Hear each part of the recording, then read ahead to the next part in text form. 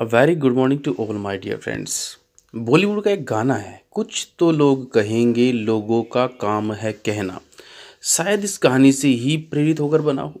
घटना उस वक्त की है जब भयंकर गर्मी थी।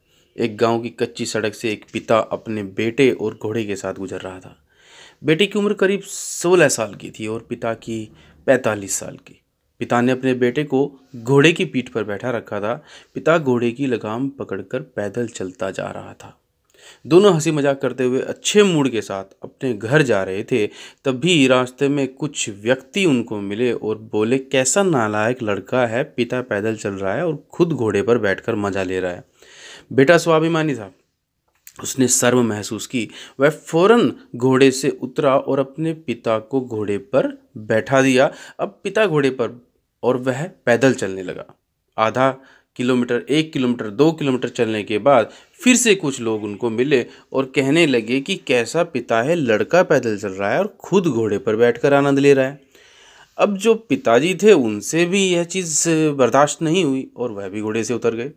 दोनों घोड़े को लेकर पैदल चलने लगे। थोड़े आगे जाकर फिर कुछ लोग मिले। फिर उनका मज़ाक बनाने लगे और कहने लगे कि घोड़ा भी है और फिर भी पैदल जा रहे हैं। पागल हैं ये लोग तो। दोनों उलझन में पड़ गए। उसके बाद दोनों घोड़े पर चढ़कर आगे चलने लगे। फिर कुछ लोगों का समूह उनको मिला। दोनों ने, उन्होंने कहा कि दोनों पिता पुत्र तो बेवकूफ़ हैं, घोड़े की जान लेकर ही मानेंगे। दोनों फिर घोड़े से नीचे उतर आए और पेड़ के नीचे बैठ गए। दोनों सोचने लगे कि दुनिया हमें किसी भी हाल में जीने नहीं देगी। पिता ने पुत्र से कहा, देखो मेरे बेटे, जब तुम अपनी मंजिल की ओर बढ़ रहे होंगे तब समाज के बहुत से लोग तुम्हारी टांग खींचेंगे, लेकिन तुम डटे रहना। बॉलीवुड का गाना, कुछ तो लोग कहेंगे लोगों का काम है कहना, इसी बात की ओर संकेत करता है।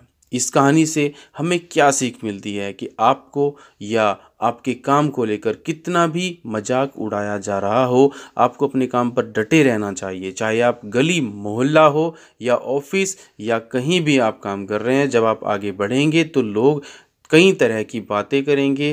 टांग खींचने वाले बहुत लोग मिलते हैं, बहुत लोग मिलेंगे, लेकिन दूसरों की नेगेटिव बातों को दरकिनार करके आपको सफलता के शिखर को पाने के लिए बढ़ते रहना है, बढ़ते रहना है, बढ़ते रहना है।